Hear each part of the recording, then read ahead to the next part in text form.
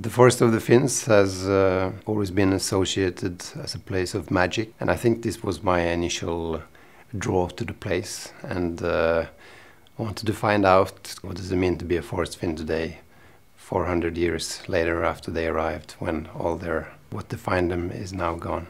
Working there was very easy. But when I got there, and, and they're very proud of their heritage, and when I got there, they were very interested in talking to me about it and telling me what uh, family line they came from, the original uh, immigrants. And I basically just knocked on doors and got tips for who I should speak to next and uh, worked pretty driving around. So I wanted to to infuse this idea of magic. The Forest Finns came from the east. They were a Finno-Ugric people and they had with them a shamanistic understanding of nature, which means that everything around you in nature has a soul and therefore be, can be communicated with.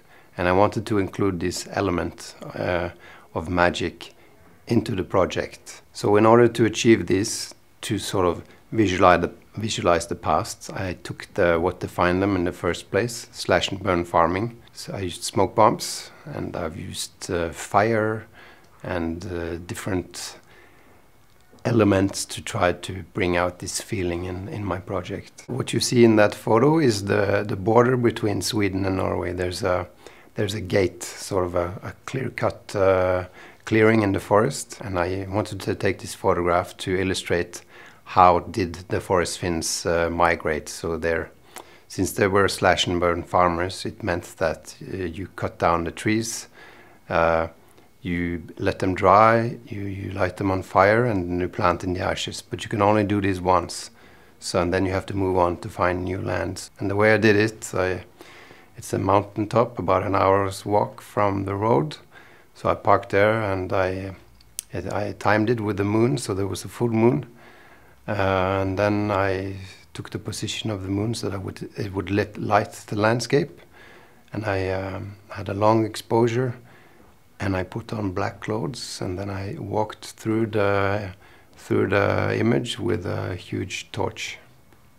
The original image is from a farm near where the first forest finns uh, arrived. So the way I did it, I I printed out the photo and I wanted to find a way and how how can I symbolize uh, the forest Finn here. How can I put it, the forest Finn physically into the photograph? So then I printed it out and I burnt the actual photograph and then I scanned it afterwards.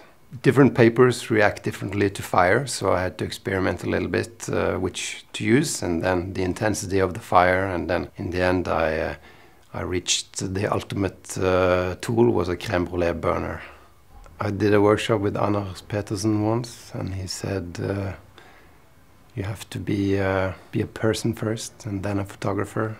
And i think that's a good motto. I mean if you don't get a connection with the people that you photograph i don't think you're going to get a good photo. Plus i mean i believe in good manners so